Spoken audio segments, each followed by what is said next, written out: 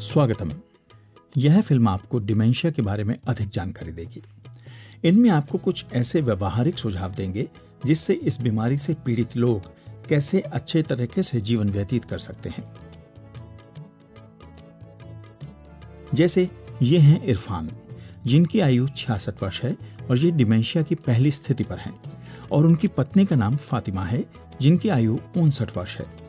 यह फ़िल्म दर्शाती है कि डिमेंशिया क्या है और यह लोगों पर कैसे असर कर सकता है? डिमेंशिया क्या है? डिमेंशिया एक ऐसा शब्द है जिसका इस्तेमाल विभिन्न मानसिक स्थितियों को दर्शाने के लिए किया जाता है, जो इस बीमारी की वजह से प्रभावित होता है। ये बीमारी इंसानों को अलग अलग तरह से प्रभावित करती है।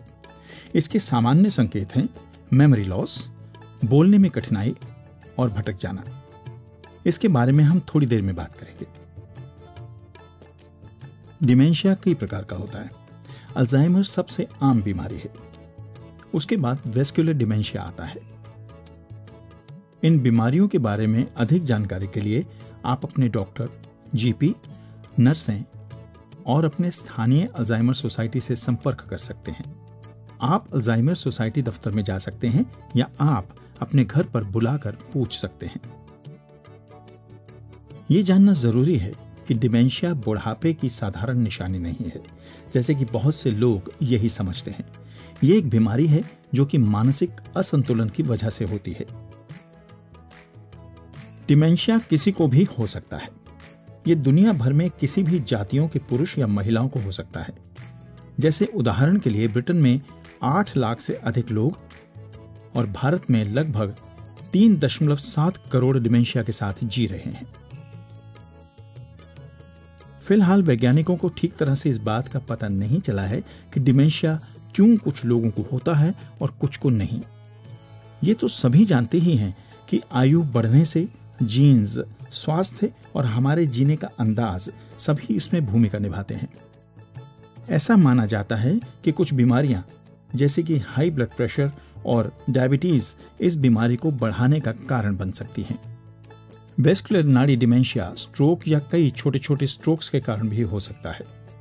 यह दिमाग को जाने वाले खून की गति को रोक सकती है या इससे दिमाग के खून वाली छोटी नाड़ियाँ फट सकती हैं। ये दोनों ही दिमाग की कोशिकाओं सेल्स को नुकसान पहुँचा सकती हैं। डिमेंशिया एक बहुत तेज़ी से बढ़ने वाली बीमारी है, जिसका मतलब है कि यह समय के साथ बढ़ती जाती है। हालाँकि बहुत सारे लोग, जो कि डिमेंशिया के होने के बावजूद भरपूर जीवन व्यतीत कर रहे हैं। यहाँ कुछ उदाहरण दिए गए हैं कि डिमेंशिया लोगों को कैसे असर करता है। याददाश्त का खोना डिमेंशिया हमारे दिमाग के उस हिस्से पर असर करता है जहाँ हमारी याददाश्त रहती है। हमारी याददाश्त दो हिस्से में रहती है, एक अलमारी के दो भागों की तरह। एक भाग में वास्तविक, तथ्यात्मक याददाश्त जिसमें सारी जानकारी है। दूसरे भाग में हमारी भावनाओं और भावनात्मक आधारित यादें हैं। हर तजुर्बा इन दोनों तरह की याददाश्त से जुड़ा है। जब किसी को डिमेंशिया होता है तो सबसे पहले वास्तविक यादों पर असर पड़ता है और उस इंसान को ऐसा महसूस होता है, जैसे उसका दिमाग डोलने लगा है।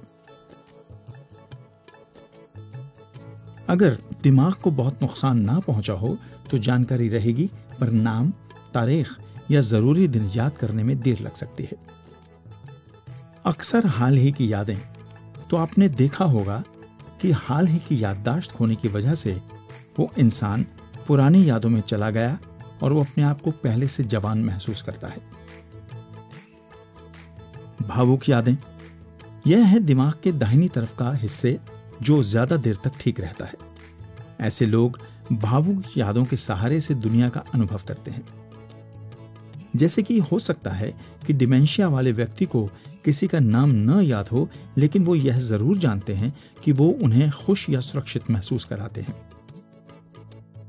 स्मृति कठिनाइयाँ प्रत्येक व्यक्ति के साथ अलग अलग तरह से बदलती हैं।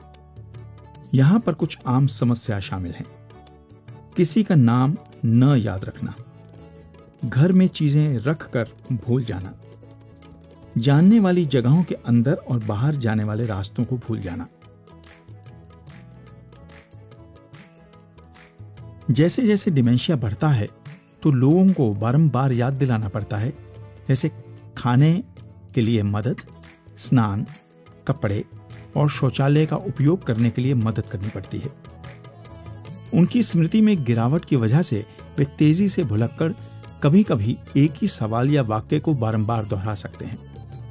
यह भी हो सकता है कि वे लोगों को पहचान करने के लिए असफल हों और दूसरों के साथ घबरा जाएँ। कम्युनिकेशन बातचीत करना। डिमेंशिया अक्सर दिमाग के उन हिस्सों को नुकसान करता है, जहाँ वो बातचीत करने का जिम्मेदार होता है। इसलिए लोगों को हर रोज की वस्तु के सही शब्द कहने के लिए मुश्किल आने लगती है। ये लोग भीतर से कैसे महसूस करते हैं, ये क्या करना चाहते हैं, इनको कैसा लग रहा है, इनको यह बताने में कठिनाई होती है। अन्य समस्याओं में बातचीत करते समय उसमें शामिल रहकर उसे जारी रखना या किसी एक टीवी के कार्यक्रम से लेकर उस पर बातचीत करना। वे एक ही बातचीत के दौरान खुद को कई बार दोहराने लगते हैं या कोई और बात करने लगते हैं, जहाँ तक कि क्या कहा था वो भी भूल जाते हैं। जब डिमेंशिया अंतिम पड़ाव पर हो तो कोई पूरी तरह से बात करना भी बंद कर सकता है। कंसंट्रेशन एकाग्रता। डिमेंशिया रोज़ाना के कामों पर कैसे ध्यान दे, इस सोच पर असर करता है। इन कठिनाइयों के कारण यह लोग सही ढंग से सोच नहीं सकते और उनको रोज़ाना के काम, जैसे कि पढ़ने और लिखने, खाना पकाने या यहाँ तक कि एक कप चाय बनाने में भी मुश्किल होती है। यह आम बात है कि ये लोग समय, तिथि या मौसम के बारे में सोचकर उलझन में पड़ जाते हैं।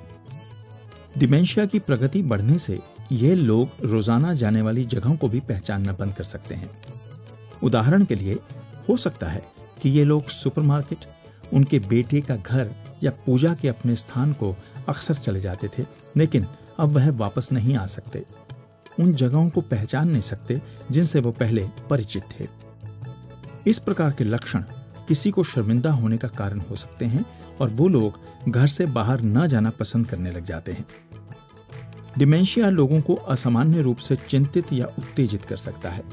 मनोदशा परिवर्तन आम है, क्योंकि मस्तिष्क का वो भाग जिसमें भावनाएँ हैं, वो हिस्सा रोग से प्रभावित है।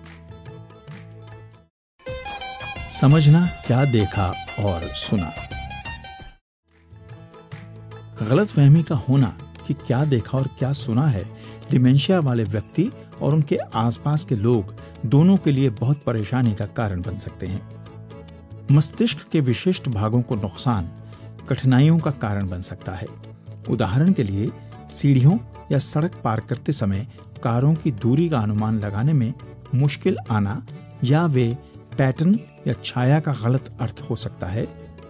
डिमेंशिया वाले लोगों के साथ गलती हो सकती है कि वो सामने वाले दरवाजे पर पड़ी एक चटाई को ज़मीन में बड़ा छेद समझकर इसके ऊपर से कदम लेने की कोशिश करते हैं, या कदम लेने के लिए संकोच करेंगे, या यहाँ तक कि चलने के लिए भी मना कर सकते हैं। ये सबसे आम लक्षण है, लेकिन हर कोई अपने तरीके से डिमेंशिया का अनुभव करता है।